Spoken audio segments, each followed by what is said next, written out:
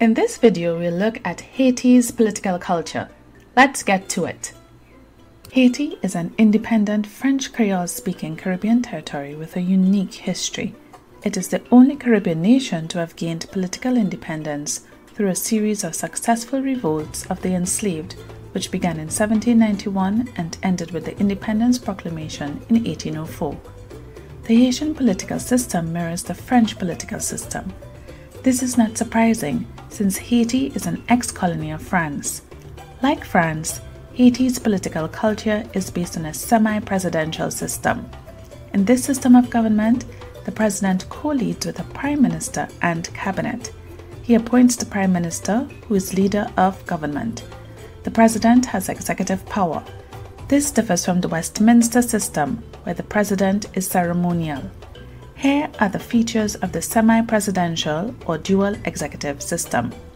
1. The head of state, a president, is popularly elected by the people every five years. An individual elected to the office of president cannot be elected consecutively. This clause was instituted to prevent dictatorship, a political problem that has plagued Haiti's political history this officer shares executive powers with a prime minister and cabinet. The Chief Justice of the Supreme Court is in line to succeed the president in case of death or resignation, according to the 1987 Constitution of Haiti. 2. The Prime Minister. This officer is appointed by the president. He comes, he or she comes from the majority party. The Prime Minister is the head of government. This person appoints the ministers and secretaries of state. 3. The executive. The president and prime minister together constitutes the executive branch of the government. 4. The National Assembly.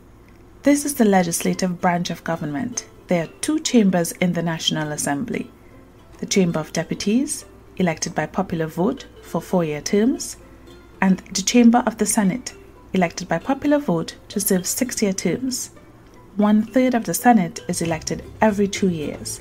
The National Assembly, or Assemblée Nationale, meets for specific purposes. 5.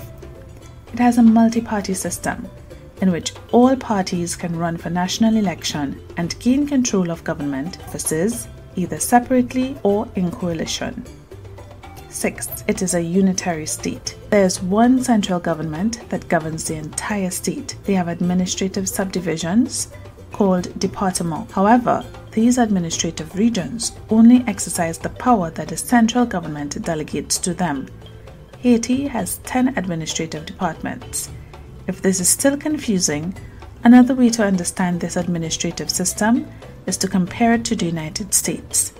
The United States government is federal, in which the government is divided into states. Each state have their own administrative autonomy. They make their own laws and regulations.